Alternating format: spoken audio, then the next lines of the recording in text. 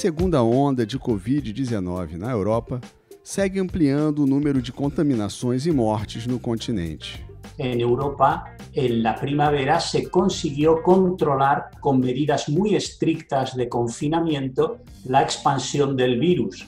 Eso provoca que el aumento de casos empiece a invertir la tendencia y disminuyan los casos. Y hablamos de una segunda ola porque como esa disminución no es completa, como ha conseguido, por ejemplo, China, Australia, Nueva Zelanda casi con total seguridad, se relajaron las medidas de control, confinamiento, interacciones personales y sociales, y entonces el virus aprovecha esas nuevas circunstancias para infectar y expandirse como lo había hecho durante la primera ola. Atualmente, quais são os países europeus mais impactados pela segunda onda de Covid-19? En Europa, el primer país que experimentó un aumento importante de casos en la segunda ola fue España, pero luego han sido otros países los que han tenido situaciones mucho peores que, que, España. Los peores países en este momento son Holanda, Bulgaria, Croacia, Rumanía y Eslovenia. Hay muchos más, evidentemente. Y entre los que se encuentran mejor, Dinamarca, Finlandia, Noruega, Irlanda, Estonia, Letonia.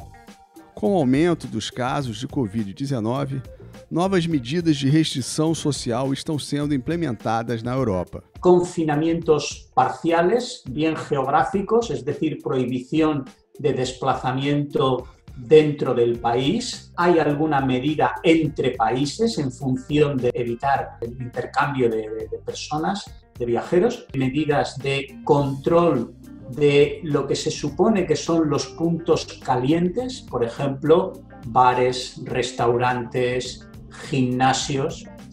Hay prohibición de reuniones en cuanto al número de personas, algún país en el que prohíbe completamente la reunión de personas no convivientes fuera del entorno de trabajo, claro, hasta países en los que permiten reuniones de hasta 10 personas, 6 personas. A segunda onda de Covid-19 pode atingir os países da América Latina? En los países de América Latina, en los que si se adoptan medidas efectivas de control, cuando se piensa que ya es suficiente haber bajado, se relajen esas medidas, seguramente se volverá a observar un nuevo aumento que es lo que se denominará una segunda ola. No Brasil, o que cada cidadão deve fazer para reduzir o número de casos e mortes por Covid-19? Evitar todas las situaciones que implican un riesgo elevado de transmisión del virus. Entornos cerrados, poco ventilados, con aglomeración de personas en las que se produzca con facilidad la diseminación de aerosoles, gotas.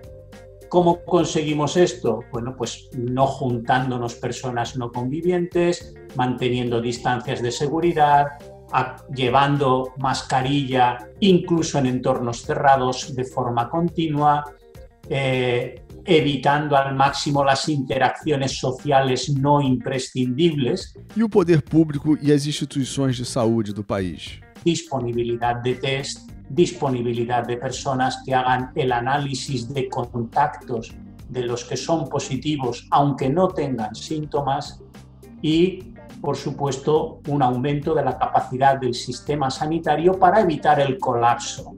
El gran problema que se ha tenido y que se tiene es el colapso de los sistemas sanitarios, porque lleva a un aumento de la mortalidad de forma directa pero también indirecta por el COVID.